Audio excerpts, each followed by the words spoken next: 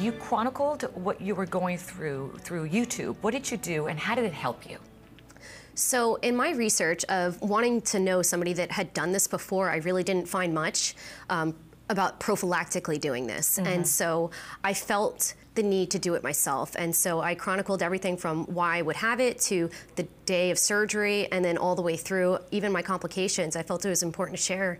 And then after that, I developed some exercise uh, videos to help women with recovery to get full range of motion back. That's fantastic. And women that could relate to you and ask you questions. I know you have uh, followers from all over the world. Did that help you to be able to share your experience with them when they were maybe fearful of asking you questions and things of that nature?